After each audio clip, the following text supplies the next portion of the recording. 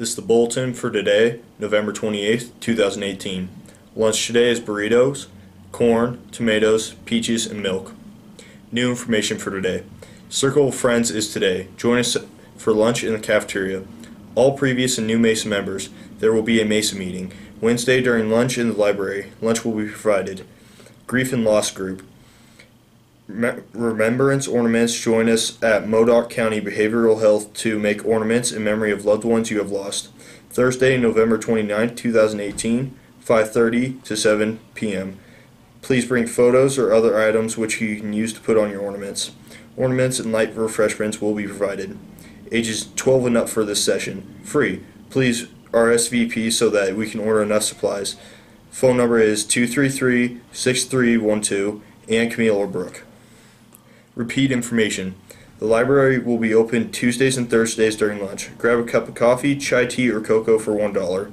You need to use the crosswalks at all times. Kids have been stepping out in front of cars during lunch. If you are seen doing this, you will be spending your lunch in the office. Police will be on patrol. Study groups are available. If you need more time to get your work schoolwork done, go to the library every Monday, Tuesday, and Thursday from 3:15 to 4 p.m. Just for seniors, your G team is hosting two FAFSA workshops before winter break.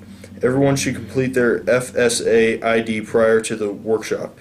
FAFSA is first come first serve, so it's best to complete this application ASAP to ensure you have free money for college. Saturday, December 1st, Finger Foods and FAFSA, 1:30 to 3 p.m. MHS Library. Tuesday, December 4th, Cash for College hosted by Lassen College, 3:15 to 5 p.m. MHS Library. Bring your parent slash guardian, your questions and excitement. It'll be Battle of the Sexes, meaning boys versus girls, dress up days. Monday, 1210, meme day. Tuesday, 1211, 80s workout day, so dress up like Coach Wood. Wednesday, 1212, PJ day. Thursday, 1213, ugly sweater day, or Christmas socks. Friday, 1214, purple and white, and Santa hat day. Please stand and remove your hats for the Pledge of Allegiance. Ready?